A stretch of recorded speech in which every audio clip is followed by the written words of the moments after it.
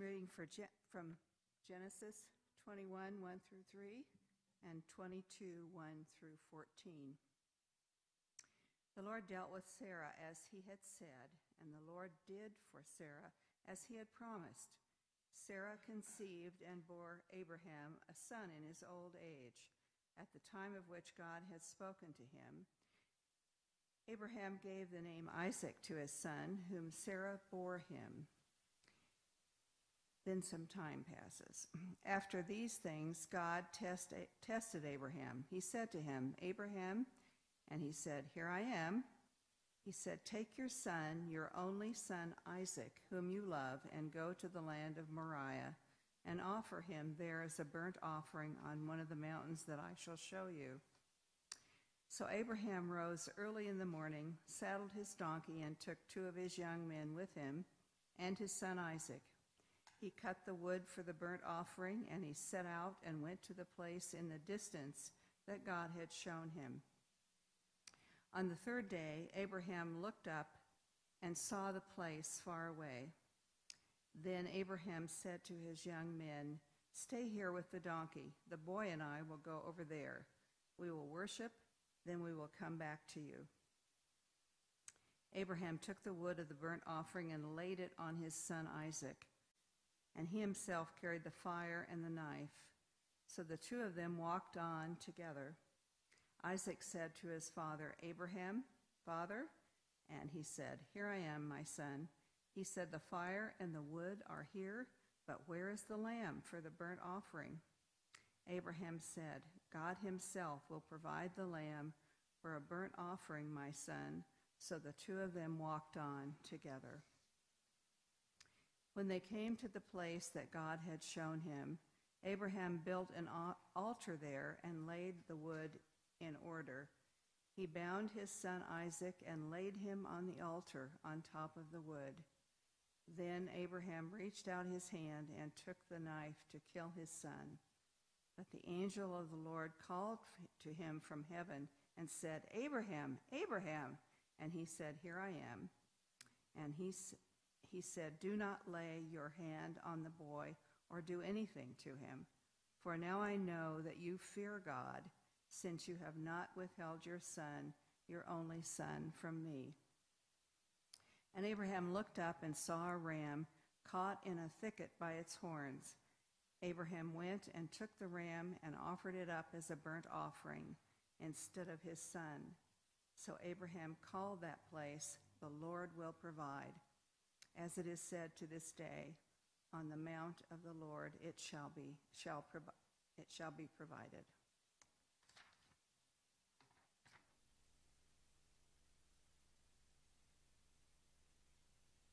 I can almost guarantee that I'm going to leave this down here, so help me remember that this is it's hiding. I'll take a second to move this up.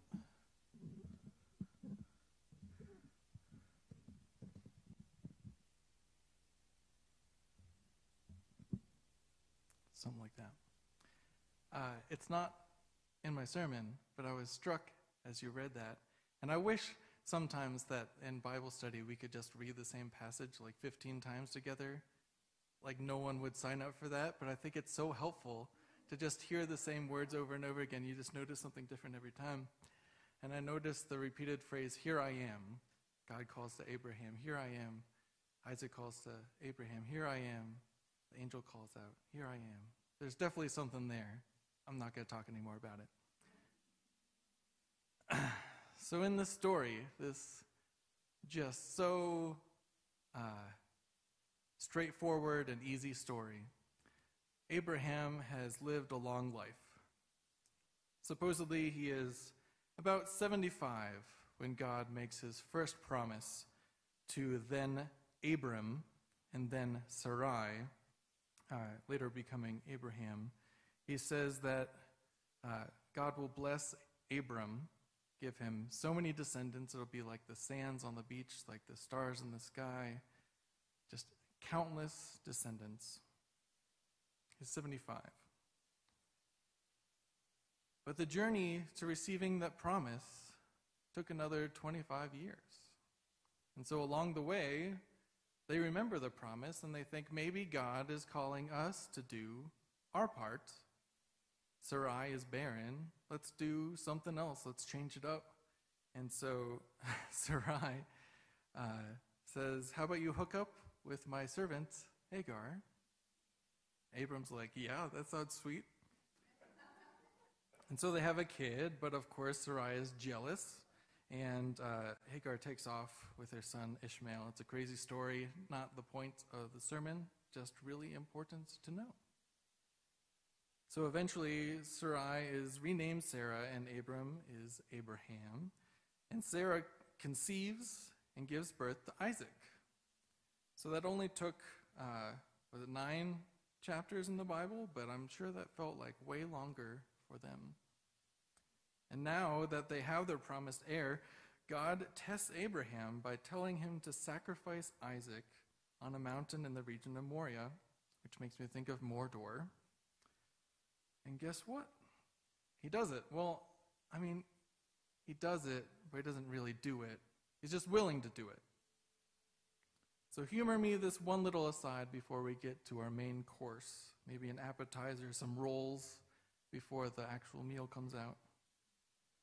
It's just very interesting to me that God can do this, that God can test someone while using someone else in a negative fashion. It's one thing to have pained uh, Abraham to sacrifice his only son, but the trauma that Isaac must have experienced, I, I literally cannot fathom that.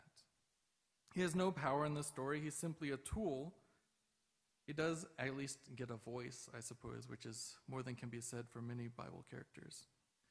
But the story never actually shifts to Isaac at this point in his life to explore the ramifications of what has happened. And so I imagine uh, eventually it would be the boy and the father grew apart, for the boy feared his father. That would be its own lesson. That's not what we get. Instead, we get a little bit of a glimpse into the rest of Isaac's life, mostly to set up Jacob's story, because Jacob apparently is the most important. But for now, uh, after all this happens, they simply go on as planned to Beersheba like nothing happened. I just think that's really interesting that God can not only test us, but test us using someone else, at least as the story goes. So, anyway, now that Abraham has shown his fearful obedience, because he did not withhold his only son, God, through an angel, which I also find interesting but won't get into, God, through an angel, says Abraham's descendants will be as numerous as the stars, and with all the nations of the earth will be blessed because he obeyed God. But wait a minute. These exact words is what started the whole Abram story. It goes, uh, 10 chapters back, it goes, Now the Lord said to Abram, Go from your country and your kindred and your father's house to the land that I will show you. I will make you a great nation, and I will bless you, and make your name great so that you will be a blessing. I will bless those who bless you, and curse the ones who curse you. And in you all the families of the earth shall be blessed. That was 10 chapters earlier, and there's no qualification. God just says, I will do this.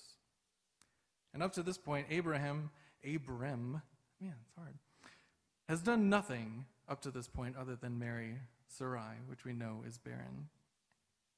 So as I've reread many of the stories in the Old Testament, I found it fascinating as well that each story tends to have some sort of summary statement at the end, some sort of neat little bow that ties it all together and gives, this is why I just heard that story. Here are a few examples. We know the story of Sodom and Gomorrah. We know the terrible things that have come from that story in our present reality, specifically against the LGBTQ plus community. But when we read the whole thing and we get to the tail end of the narrative, we see that Lot, still terrible, but Lot is raped by his children and impregnates both of his daughters. So each daughter gives birth to a son, and each son is given a very familiar name to the Israelites uh, Moab and Ben Ami. And they end up being the fathers of the Moabites and the Ammonites today as it says at the end of the passage. So, uh, today, of course, meaning the time of the writer or the editor or the compiler when the texts were uh, formed together. we see at this time, whenever it's being written or edited or compiled, that Israel is not friends with Moab or Ammon. And so the story of Sodom and Gomorrah actually is the origin story of Israel's neighboring enemies, that they were born from incest, from drunken incest. Not good people, don't trust them, not good.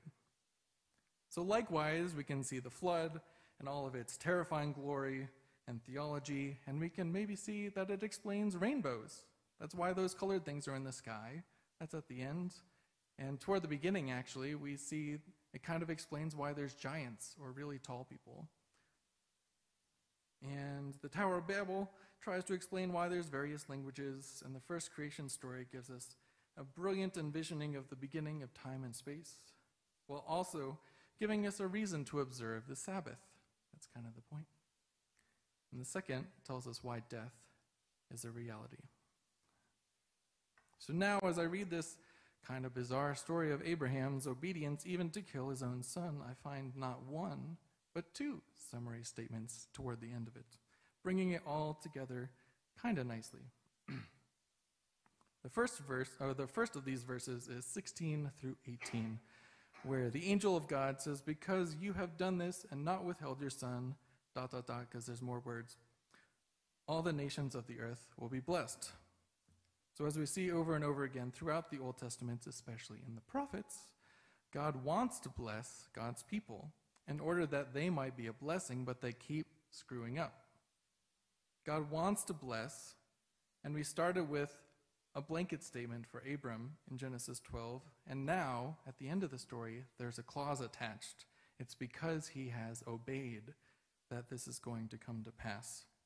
So Abraham obeyed and was rewarded, whereas Israel keeps failing and is thus punished, or at least is not rewarded, depending on when you're reading it. But the real point is the second one, I think, which comes a little before that. We see that a ram is offered in place of Isaac in verse 13. I think that many readers, when they read the binding of Isaac, as it's often called, are off put by the mere request from God to Abraham to sacrifice his son. But the truth of the story is that ultimately he prohibits Abraham from doing it. So, if we remember, Alice hinted at this a little bit last week. Scholarship is finding that these ancient texts were probably being formed sometime during or even after the monarchical period, sometime during the reign of David and Solomon. And it's not to say that these stories could not have been passed down orally or been important to them before this, but this is kind of when they're coming together. We see uh, imagery and language about priests and all sorts of things that were a little anachronistic for when the actual stories took place.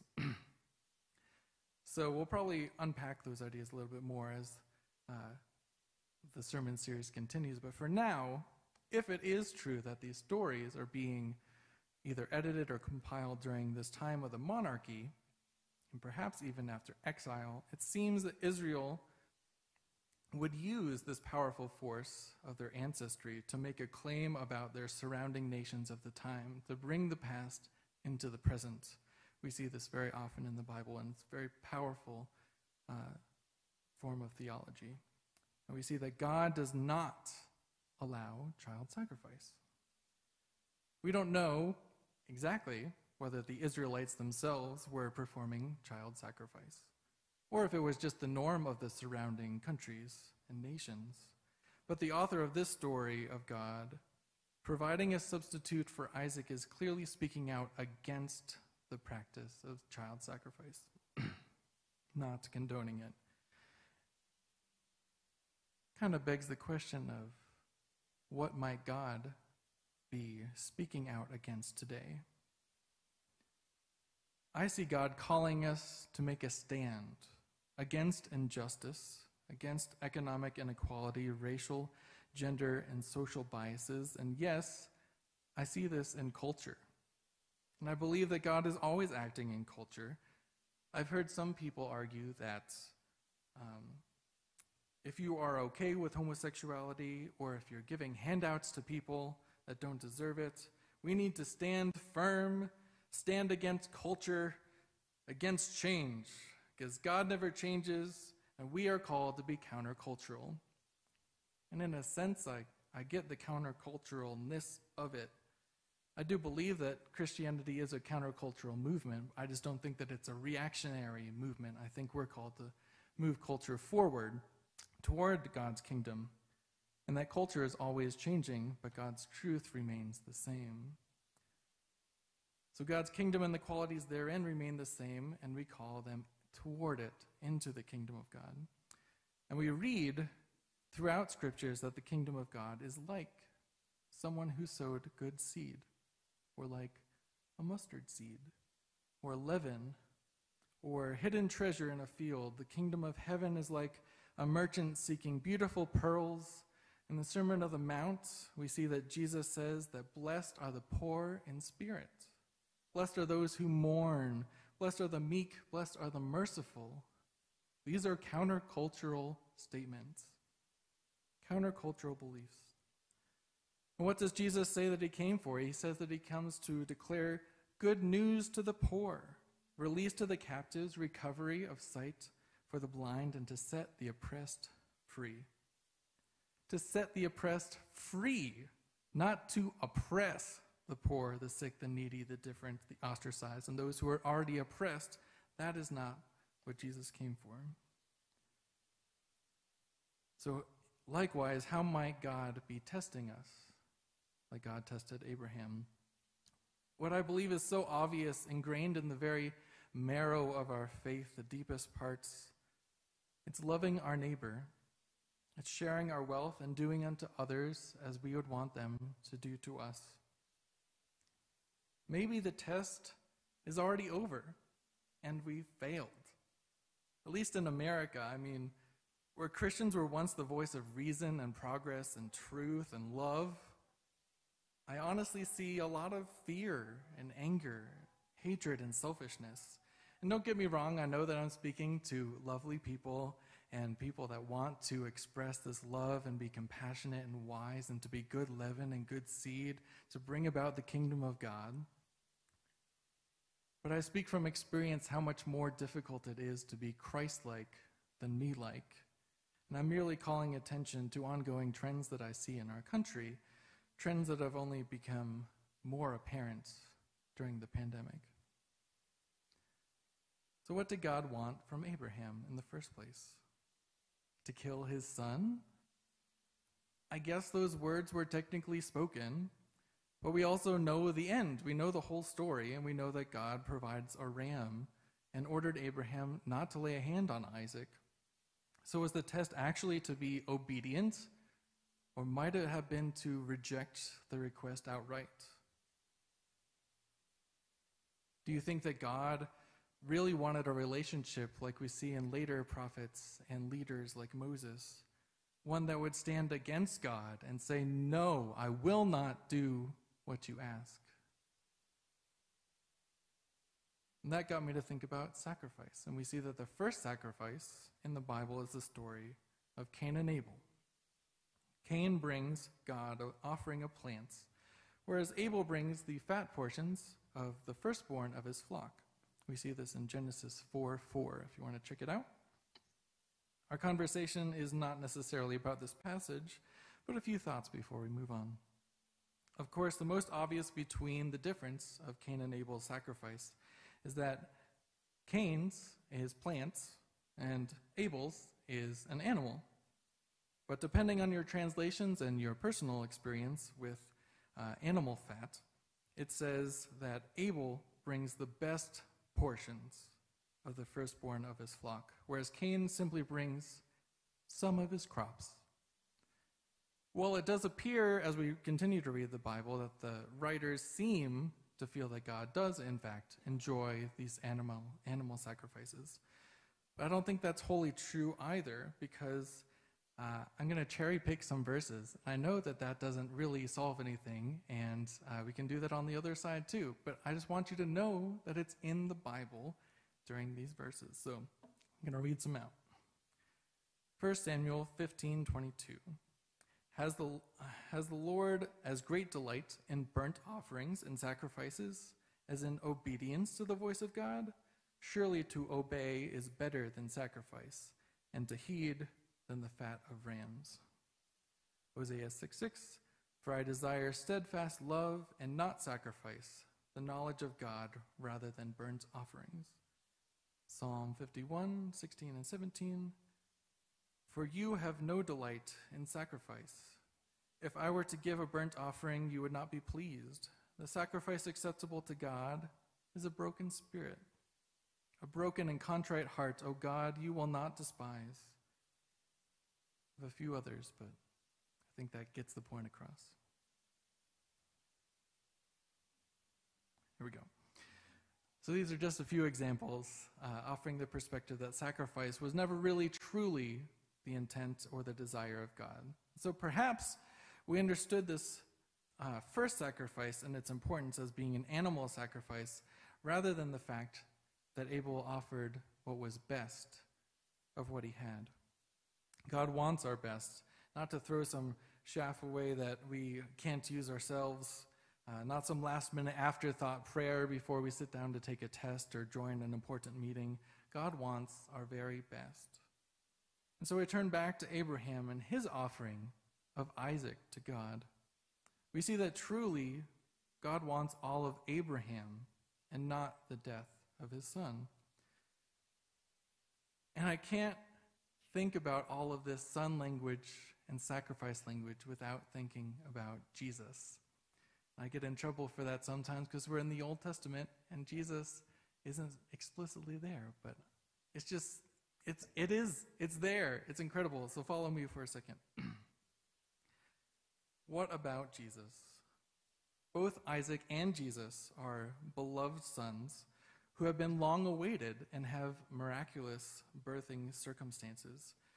Both sons carry the wood that is to be the instrument of their death on their backs. In both cases, the father leads the son, and the son follows obediently toward their own death. And in both cases, God provides the sacrifice. Abraham tells his son that God will provide the lamb. But in Genesis 22:13, it's a ram that is provided. I may have to say this a few times, and I know we're not a shouting church, but it's okay if you get a little excited about it because it's pretty exciting stuff. Kind of shattered my mind as, as Abraham and Isaac are on their way to make the altar. Isaac asks, Where is the lamb for the burnt offering? And Abraham says, God will provide the lamb. But when he looks up as the angel tells him to spare his child, he sees a ram in the thicket. The lamb was still to come. The lamb was still to come. There was a ram provided, but Abraham says a lamb will be provided by God. So the lamb was still to come. Jesus, also an innocent son, went willingly up the mountain to be crucified. But God does not make the sacrifice, He merely provides it the Lamb of God. Jesus is the Lamb. Alleluia. Jesus is the Lamb. God provides the sacrifice. And unfortunately, we are the ones that make it. Humans are the ones who do not stay their hand, and this time God allows it. Not because God wants blood, but because we do. God sent his son to save the world. We know that in our basically most famous verse John 3:16. But John keeps going and he reminds us in verse 19 that this is the verdict light has come into the world. But people have loved darkness instead of light because their deeds were evil. Everyone who does evil hates the light and will not come into the light for fear that their deeds will be exposed. Light exposes, light illuminates. And it seems that we as a society have been doing a lot of illuminating recently. People, again, through culture, have exposed systems that were put in place to give or to suppress opportunity for superficial and inhumane reasons. People, through culture, have exposed patterns of behavior that once appeared mundane and acceptable to really be offensive and dehumanizing. People, through culture, are reminding us that love is the answer. So, as the church, I pray that we know that our God is love. And may we affirm the ancient mandate that we should love one another as Christ loved us. May it be so. Amen.